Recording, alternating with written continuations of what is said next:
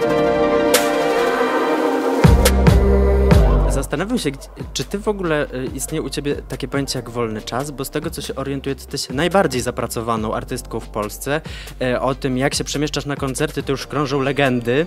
E, I jak tobie się udaje to godzić z jakimś twoim życiem prywatnym, z takim odpoczynkiem? Jeszcze nie ogarnęłam teleportacji, pracuję nad tym e, intensywnie. Natomiast faktycznie pozwalam sobie na sen, o ile jest to możliwe, wtedy odpoczywam. Odpoczywam zmianą zajęć, ponieważ proza życia również mnie dopada. Muszę sobie wybrać e, na przykład rzeczy, albo poskładać, albo odkurzyć, więc wypoczywam, zmieniam... Wiesz, zawsze możesz po prostu kupić nowe.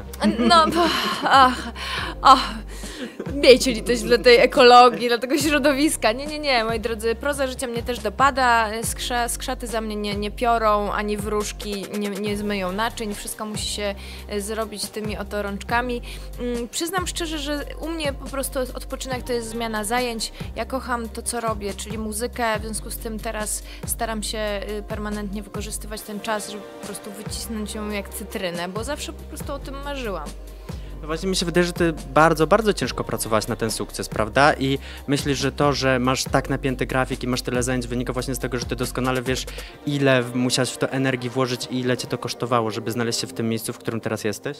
Może tak masz rację. Myślę, że to z tego wynika, że ta długa droga y, spowodowała ten, nie wiem, czy to jest jakiś lęk we mnie, że, żeby po prostu nie odpuszczać. Y, jeżeli ktoś y, bardzo czegoś pragnie, a ja naprawdę y, z muzyką miałam bardzo różne doświadczenia i wiele razy się potykałam i, i wiele drzwi no nie stało tak otworem na, na, na, moją, na moją muzykę. To przyznam szczerze, że teraz jak już to osiągnęłam, to po prostu, no, kiedy mamy te marzenia w ręku, to już staramy się naprawdę na wszystkie sposoby robić, żeby nie, nie, nie wyleciały nam z tych rąk. I staram się naprawdę to utrzymać. Ja śledzę twoje profile w mediach społecznościowych chyba od 2013 albo 2014 roku i chciałem cię zapytać taką rzecz.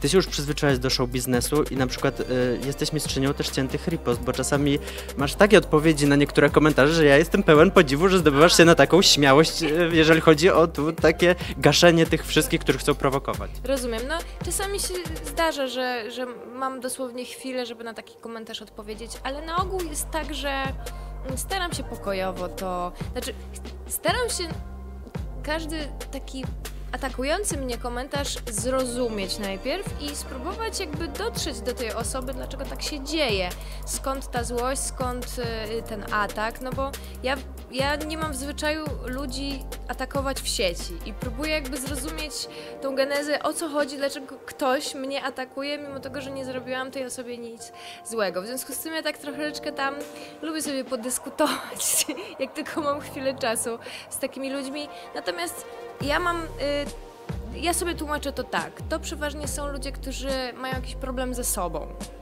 I podszywając się pod kogoś i zaszywając się jakimiś anonimowymi profilami, no to to jest słabe. To, to powiedzmy sobie wprost, e, że ja, ja współczuję takim ludziom. Może więcej, może znajdźcie jakąś pasję na przykład. Fajne jest śpiewanie, polecam.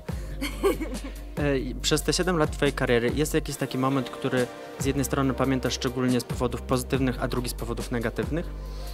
Ojej, raczej chyba same pozytywy. Raczej albo nie wiem, albo mój mózg, w- nie wiem, zapamiętuje tylko te dobre chwile.